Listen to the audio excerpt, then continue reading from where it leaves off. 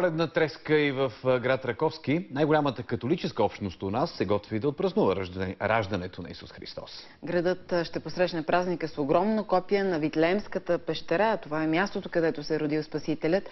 Коледната пещера е уникална и е подобна има само във Ватикана.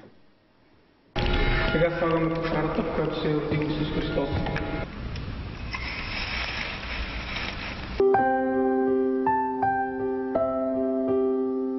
Уникалната Витлемска пещера е изградена в най-големия католически храм в Раковски. Тя е дело на 26 годишният учител по рисуване Владимир Сарийски. Фигурите са с човешки размери и пресъздават библейската сцена от раждането на Исус.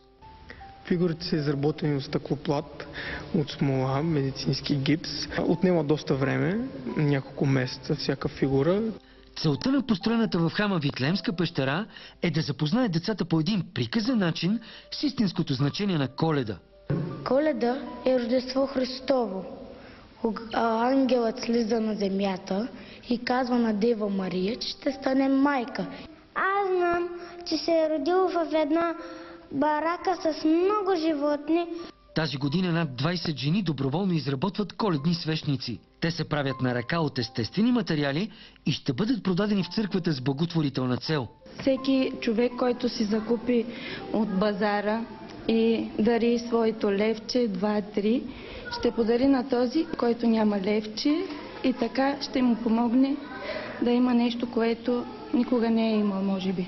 Сумата от благотворителния базар ще отиде за закупуване на подаръци за най-бедните деца. В навечерието на коледа католическата общност в Раковски ще се помоли не само за здраве, но и за мир в Иерусалим.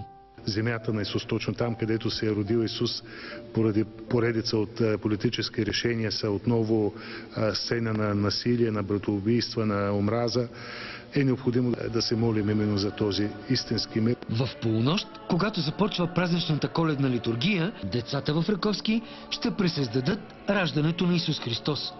За новините на Нова, Богой Бекриев.